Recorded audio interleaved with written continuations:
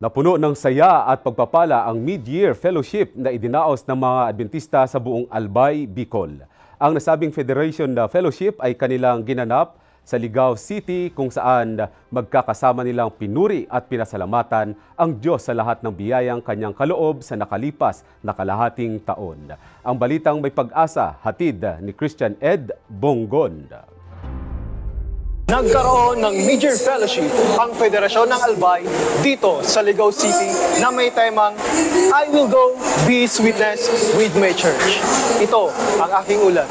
mga awit ng papuri, mga patotoo ng pasasalamat sa kabutihan ng Diyos, at mataimtim ng pananalangin para sa patuloy na gawain ang pinagsalusaluhan ng bawat isang dumalo sa Major Federation Fellowship sa probinsya ng Albay. Sa loob ng kalahating taon, habang abala ang mga anak ng Diyos sa kanya-kanyang gawain sa loob at labas ng iglesia, ay patuloy ang pagbuhos ng pagpapala sa pamilya, trabaho, pag-aaral at kanya-kanyang paglilingkod.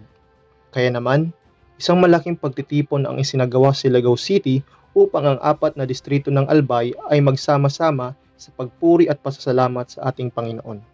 Na yung mga kapatiran sa buong Albay ay paminsan-minsan ay magkatipon-tipon, magkakilala at magka, magkakaibigan at magkasama-samang makikinig ng salita ng Diyos. At ganitong paraan ay nararanasan ng mga kapatiran na tayo talaga ay isang grupo na merong mensahe na kailangan ipaabot sa ating lugar. Ako po ay natutuwa at like, na nakikita sila ang mga leader ng iglesia, higit sa lahat ng mga kabataan na sila rin ay nagpa-participate sa ating programa sa pagkatagsuporta sa ating ginagawang uh, mid-year fellowship dito sa, sa probinsya ng Albay. Ang buong Sabath ay naging pagpapala sa pagpapaalala ng personal at malalim na bahagi natin sa pakikiisa sa gawain. Ang naging impact nito, uh, ginawa nating Federation Fellowship sa aking sarili ay uh, nakapagpalakas or nakapagbu nakapag uh, pabuhay ulit ng aking pananampalataya kasi paminsan uh, tayo nangihila din. Ang personal at corporal commitment ay binigyang diin na nagpapatunay na ang bawat individual, bata, kabataan at mga magulang ay mayroong mahalagang gampanin sa ikatatapos ng gawain ng Diyos dito sa lupa.